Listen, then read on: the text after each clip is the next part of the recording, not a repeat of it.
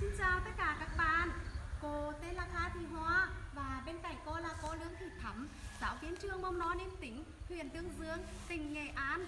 Các bạn ơi, một ngày mới đã bắt đầu rồi. Để đánh bay virus corona thì chúng mình phải có thật nhiều sức khỏe. Để nâng cao sức khỏe thì chúng mình phải tập thể dục hàng ngày đấy. Hôm nay cô sẽ hướng dẫn các con tập bài thể dục sáng mà chúng ta thường tập hàng ngày gồm có bốn động tác đó là động tác tay, động tác chân, động tác bùng và động tác bật. Đối với bài thể dục sáng ta có thể kết hợp theo tiếng đếm, tiếng trống và tiếng gõ.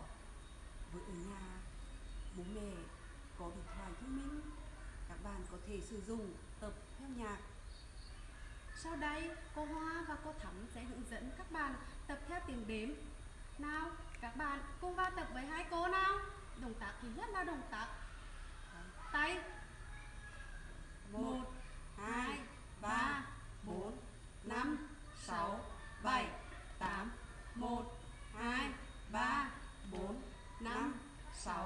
7 8 đồng tạc, chân.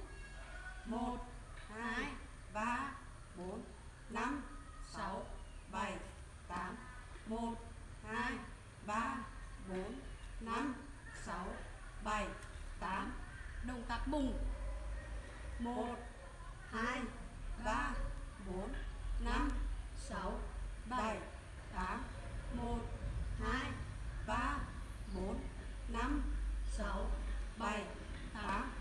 động tác bật.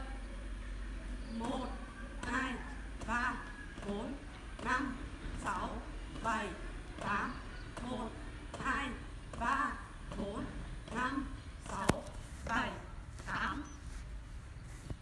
Vừa rồi, chúng ta vừa tập vai thể dục sáng kết hợp với tiếng đếm.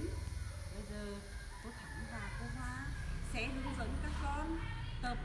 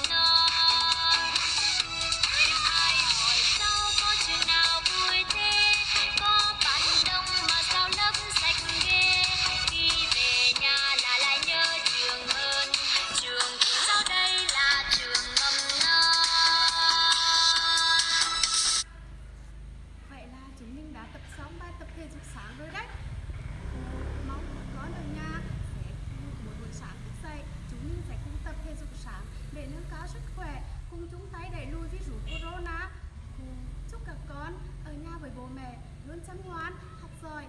Và cô chúc tất cả các bậc phụ huynh có nhiều sức khỏe và hạnh phúc.